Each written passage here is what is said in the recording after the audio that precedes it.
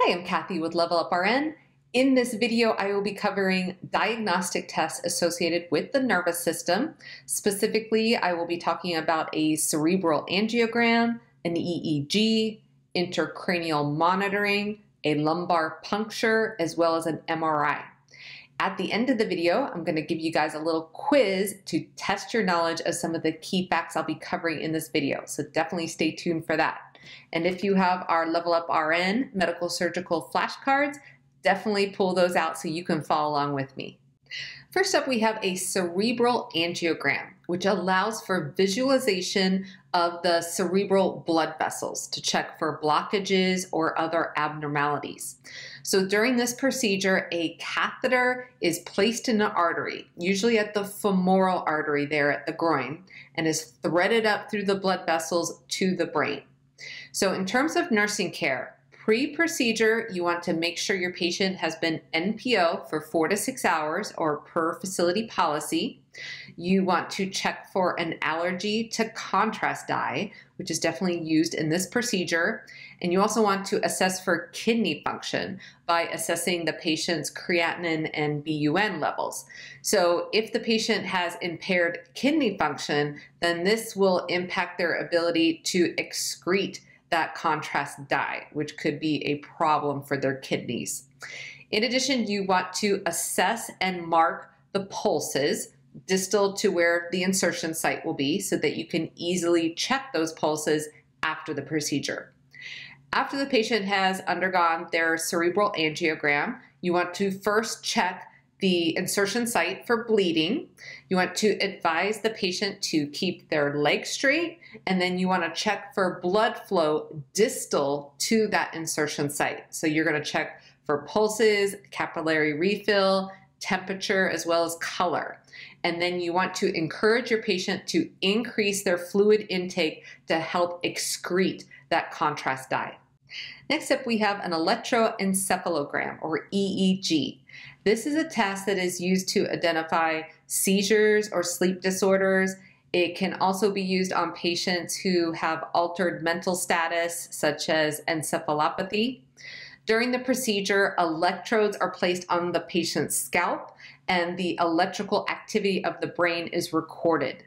In terms of nursing care, prior to the procedure, you want to have the patient wash their hair because those electrodes are not going to stick well to a greasy scalp.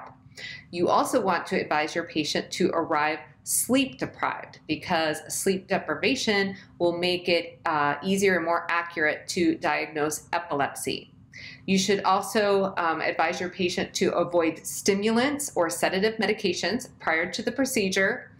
In addition, NPO is not required for an EEG. So it is required for a cerebral angiogram, which we just talked about, because that procedure uses anesthesia. Anesthesia is not used with an EEG, so NPO is not required. During the procedure, hyperventilation or strobe lighting may be used to increase the likelihood of seizure activity. So you'll want to give your patient a heads up about that possibility prior to the procedure. Next, we have ICP monitoring or intracranial pressure monitoring. This is a very invasive procedure where a device is inserted into the patient's cranial cavity to measure their ICP. It is done in the OR and it carries a huge risk of infection. Indications for this procedure include the patient being in a coma, which means their Glasgow Coma Scale score will be under 8. So normal ICP is between 10 and 15 mmHg. Signs and symptoms that a patient has increased ICP can initially include symptoms such as restlessness, irritability, and a headache. But as that ICP increases, it can cause decreased level of consciousness, pupil abnormalities, abnormal breathing patterns such as Cheyne-Stokes and Biot's, uh, respiration patterns. It can also cause abnormal posturing, such as decerebrate or decorticate posturing. The next diagnostic test that I want to cover is a lumbar puncture. During this procedure, a cerebral spinal fluid sample is obtained from the patient's spinal canal and it's analyzed. So this may be done if we suspect the patient has meningitis, a subarachnoid hemorrhage, or other neurological disorder.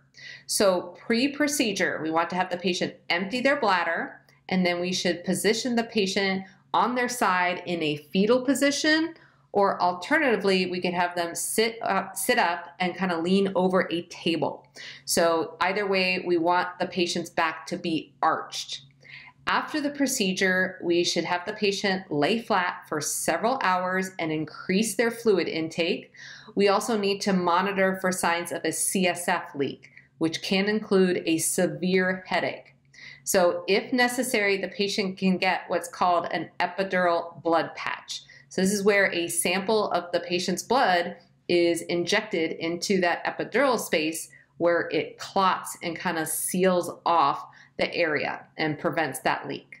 The last diagnostic test I want to cover in this video is an MRI or magnetic resonance imaging.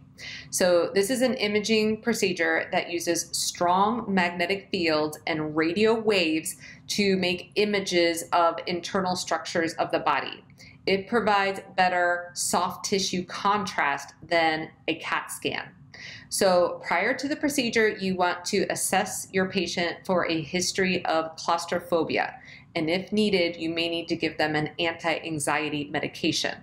You should have them remove all their jewelry and you should assess for contraindications, which include metal implants. So definitely check for things such as artificial joints or a pacemaker. And then finally, you need to give them some earplugs. We don't need to, but you should because MRIs are very loud. All right, you guys ready for your quiz? I actually had a hard time picking only three questions because there's a lot of important information on these flashcards that I just reviewed. But here we go. Question number one. NPO is required prior to an EEG. True or false? The answer is false. NPO is not required. Question number two. How should a patient be positioned for a lumbar puncture?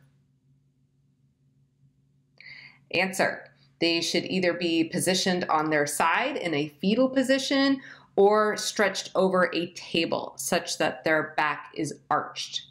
Question number three.